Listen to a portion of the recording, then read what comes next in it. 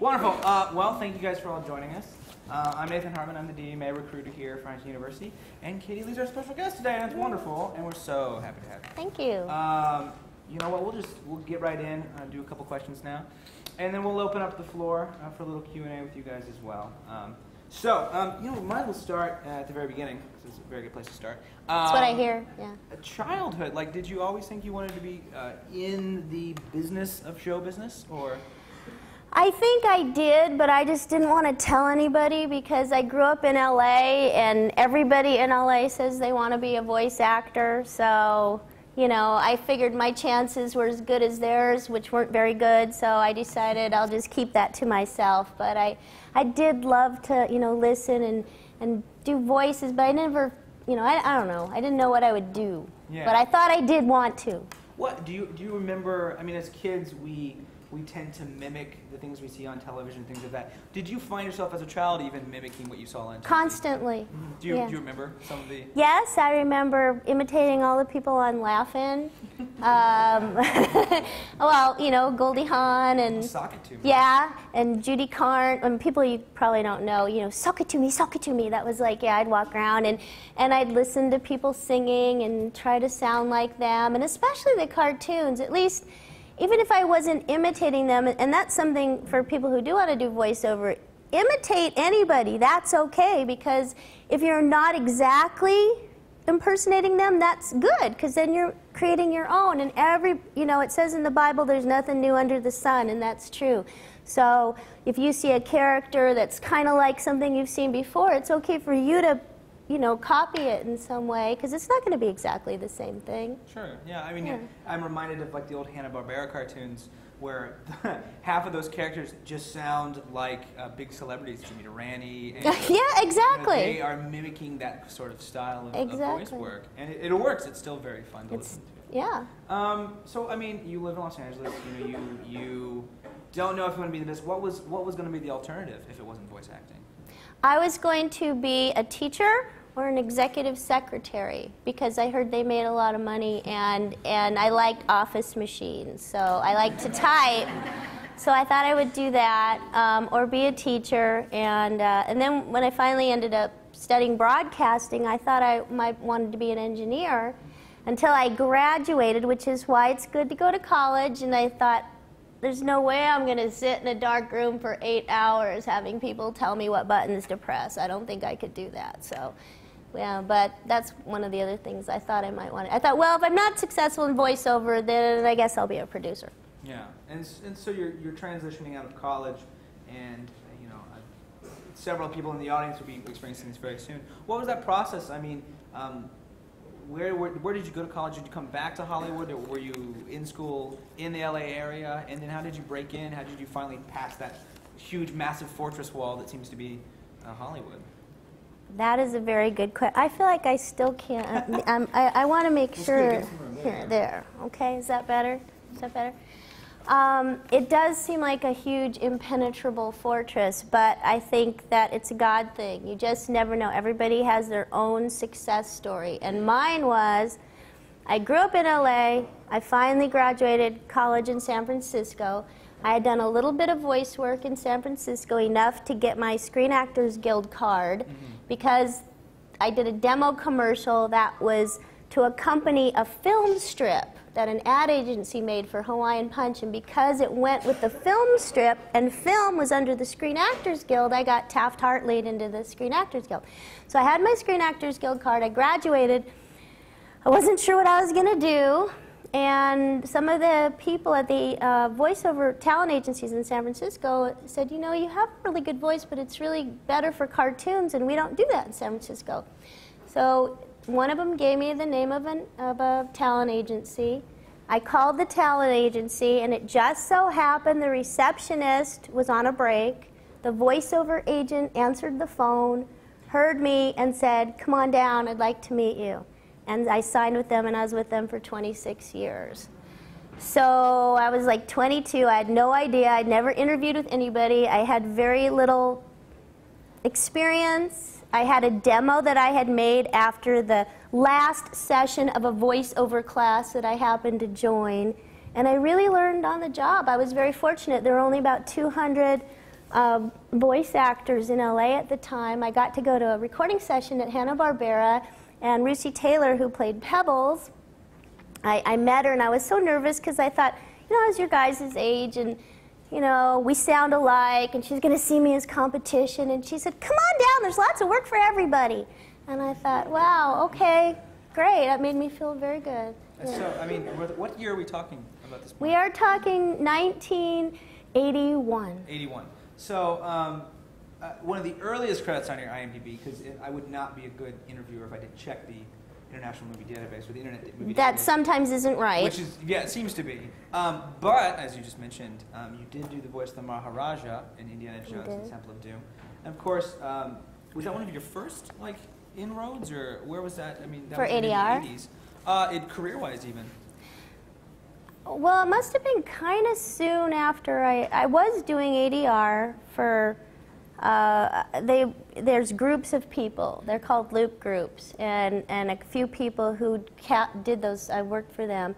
And that particular job, and I, I don't know if I auditioned for it, I don't remember.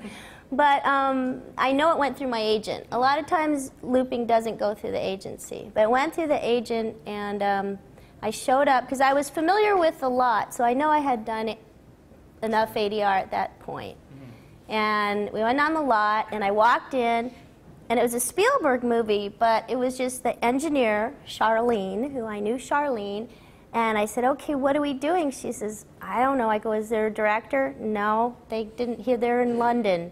What do they want? Well, I'm not sure. Okay, and that's how that session went. And so, that's the movie business. Well, because you know, there's a question when you're replacing somebody's voice. Is it because they don't like the voice? Is it because they don't like the performance? Yeah. What do they want different? Why are they, you know, sometimes, a lot of times they'll just want you to match the voice exactly because for some reason there's ambient noise that the mic picked up and this actor was from England or India or somewhere and they couldn't bring him in for post production so they had to hire somebody to redo his voice because just for the students to know, engineers like all the voices to be on separate tracks so they can mix it. So if the voice is married to some other sound, they want to isolate it. Yeah, and, and to clue in those probably, um, you know, those less movie nerd people, um, ADR is that redubbing of whatever they, I mean, they film and record on production, but it can get really garbled if you've got wind machines, things of that, and ADR uh, voice actors come in, and the actors from the, you know, the, the original movie or whatnot and they redub uh, oh, yes. some or most of the lines. TV stars have to come in all the time uh, of episodic shows and loop their own voices to their match their performances after it's already been shot. Uh, as an, I mean, as an actress, um, does the process of, I mean, how does that change knowing that you're either mimicking or you know redoing something that you already have that visual and you're you're embodying a new voice into that? Does that does that change how you think about how you want to do it? knowing like that there's already a character. It's, instead of an animated thing, it's like oh, because I'm yeah, yeah right. Because if you're doing animation, you're creating it from scratch. Mm-hmm. Yeah, because I'll ask, you know, do you like the voice? Like that movie you saw where I redid that, and I did do all the voices except for Darkwing Duck, by the way. So like that Richie Rich scene, I was all three characters in that. Um, but in ADR, I, that I said they liked her voice, but she thought her body language was really, you know, not very expressive. That was a challenge because they said, can you make her more expressive? So she's like sitting like this, talking, and her mouth is like, you know, and I'm trying to think, how can I perk her up without, and make it match the body? So there's voice matching and improving the performance. So, I mean, about this time in the 80s, we're looking at um, we're looking at Adventures in Odyssey is, mm-hmm. is, starting up. When did you get involved? Um, I mean, before it was even called Adventures in Odyssey, it was Family Portraits. And were you part of Family Portraits? Or no. That was right before you even. No, yeah, I was actually on my way to Arcadia for a doctor's appointment, and I heard the Family Portraits on the radio, and I had become a Christian like within it, like probably two years from earlier, maybe and it was on my heart. I wanted to do something, use my talents for God. And anyway, I, so I hear this family portraits, and I looked in the phone book. Those existed in booths a long time ago, and um, I, I, I looked up their address. I drove over there and I gave them my demo. I said, I heard your radio drama and I want to do that because I really loved radio drama. And that's something that always interested me um, when I was growing up and everything else. Anyhow, so I said, I know who the actor is on that show and he knows me and we're professionals. And they said, okay, thanks. And, um, but about a year later, they created the part of Connie Kendall for me when they finally got it together to do Adventures in Odyssey. And I mean, obviously, your your other work, we're talking Darkwing Duck and a lot of the the you know those classic Disney cartoons, um, Gummi Bears, things like that. What is the? I mean, between. Do you know Gummi Bears was the first animated TV series Disney ever that. did? I did not know I didn't know that either till this year. Okay. Um, so between you have your Disney cartoons and you have Adventures in Odyssey, and, and having that, um, you know, that, that relationship with Christ, what is that experience like in the sense of how you feel like your impact is, opposed to being on a Saturday morning cartoon and Adventures in Odyssey? And, and which one do you think? the impact on the audience? Yeah, the audience. Like, what do you, what do you gain from uh, each separate one? Well, I mean, it's always a thrill to work with your role models and icons wherever we're working. So on those shows, we got to work with some classic. Bill Scott, June Foray was on Gummi Bears. I mean, who wouldn't want to do that?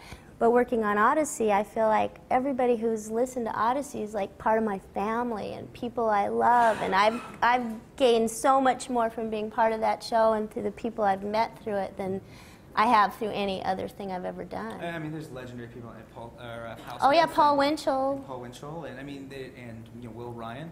Um, Yeah, Will worked on that too. Yeah, and, and so you know, there's some legendary work even on Adventures in Odyssey, absolutely. Oh, on, oh, I Oh, thought you were talking both. about gummi bears. Yeah, Yeah, yeah, there's a big bears. overlap. Everybody wants to work on Odyssey, by the way. We get the best actors on Odyssey, so now everybody wants to be on our show, which is really cool. Uh, it, yeah, how big is how tight knit is that voice actor group? I remember seeing pictures of you at uh, Comic Con on a panel with Billy West, who's like one of my favorites. Yeah. Um, how how close knit is that that community in Hollywood? Pretty close. Yeah. Yeah. Well, Cheryl Chase, who did Angelica's my actual cousin, so I guess that Really, that's really close. really close. Um, yeah, but we're, we're friends. It's, and it was when it was smaller, like 200 people, we were a lot closer. Now it's pretty spread out. But that's the best group of actors in Hollywood. That's awesome. Yeah. That's wonderful. Um, quick, I mean, we're running a little low on time, but I'd like to um, bring up a question about you've, you've also done some video game work. Mhm. Um, EverQuest, Silent Hill, uh, Grim Fandango, one of my personal favorites. That's one original. It's one original. It's great. Video- yeah, thank um, you. Good old LucasArts. Um, what's that experience like? Opposed to, I mean, you have way more dialogue opposed to just film and, and TV and radio. Well, the difference is when you do video games, you're usually by yourself. Uh, they don't bring a bunch of actors in together because you're not interacting. So you've just got like a, a, a- a spreadsheet, uh, like Excel. Your lines are printed out on an Excel sheet. You do one line two or three times, two or three, you know, just go down and yeah, it can take a long time, but you're by yourself. Yeah, I mean, some scripts, especially nowadays, you know, there's 2,000 lines for a person, um, just the different variations uh, that can go on. Yeah. Um, as a person of faith, um, how how do you? I mean, I know there's a lot of people uh, in uh, perspectives and students already who are interested to eventually make that trek to Hollywood. And what sort of advice would you give a you know a, a Christ follower in going into a community? I remember my experience uh, there. Um, I felt I was I was surprised how accepting they actually were of me. Um, I didn't know if that's the same experience you felt. Yeah, when I first got saved, I was really self-conscious. I thought, oh, the Hollywood's going to think I'm weird, and, and my Christian family's going to think I shouldn't be an actress. But there are a lot of Christians out there working. As a matter of fact, I just worked on Dynasty Warriors, and it turns out the director and the casting person are Christians.